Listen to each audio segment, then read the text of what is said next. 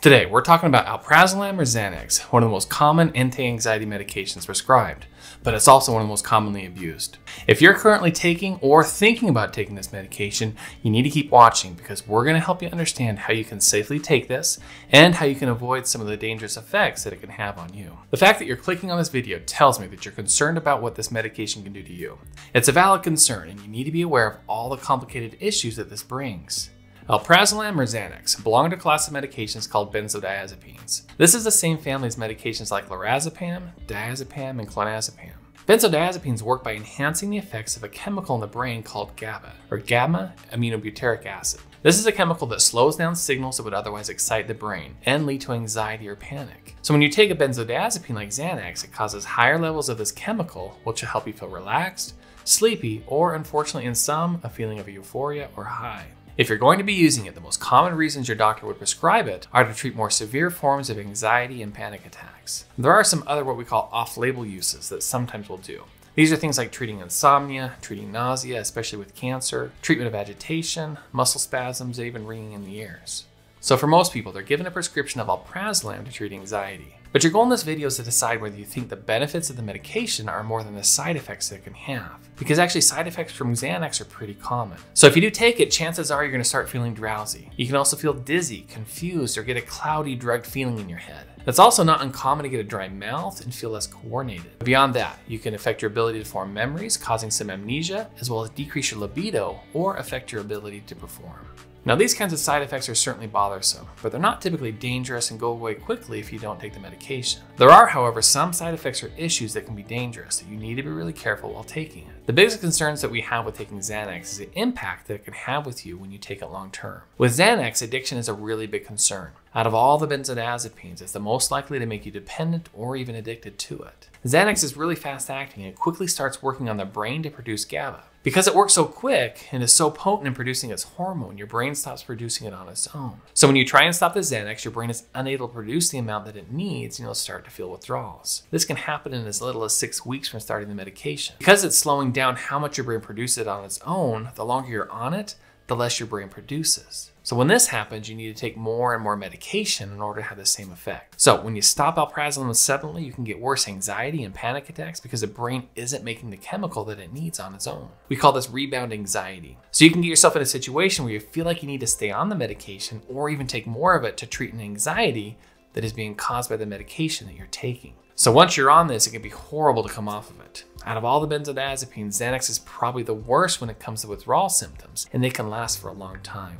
Symptoms of withdrawal can include feeling anxious or panicked, problems sleeping, feeling dizzy, mental status changes, mood changes, and even seizures. The next problem that we see with long-term Xanax use is that it can lead to significant memory problems. Xanax can interfere with the formation of new memories. So studies have shown that those taking Xanax have more memory problems than those who don't. Even after stopping the medication, problems with memory can last for several months and in some cases may be permanent. So the longer you're on Xanax, the more problems you can have. But that doesn't mean that even short-term use of the medication is without risks. Even taking it short-term can affect your ability to process information in your surroundings and can slow down your response time. This is extremely dangerous when doing things like driving or operating other machinery or in activities where injury is possible. If you take this medication before driving, you're putting yourself and others on the road at significant risk. You need to treat this medication as you would alcohol when doing risky activities. Because of this, if you were to get in an accident or get pulled over while taking it, it would be considered operating a vehicle under the influence, which could lead to significant legal issues even if you don't feel like you're impaired. The next big risk of this medication is from overdose. Common signs of a Xanax overdose can be drowsiness, confusion, slurred speech, impaired coordination, reduced reflexes, and eventually coma and even death. The greatest risk of overdose comes when it's used together with other sedative substances like alcohol and especially narcotic pain medications. In fact, one of the leading causes of accidental overdose and death is when people combine medications like Xanax and chronic pain medications or alcohol. So please never take these kind of substances together. Overdoses of Xanax are a medical emergency and need to be treated in a hospital right away.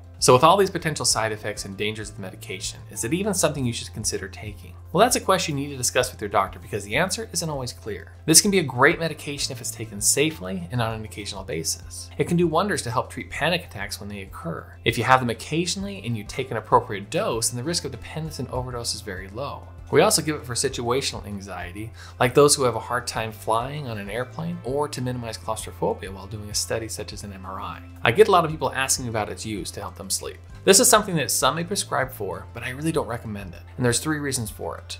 The first is because of how quickly alprazolam starts working. It'll also wear off quickly, and it's less likely to keep you asleep throughout the night. The second is that it can disrupt your normal sleep cycles, and even though you may be asleep, you don't get the good restorative sleep that you're needing. And third, it's common once you start taking a sleep aid to take it on a regular basis, which just then increases your risk of becoming dependent on the medication.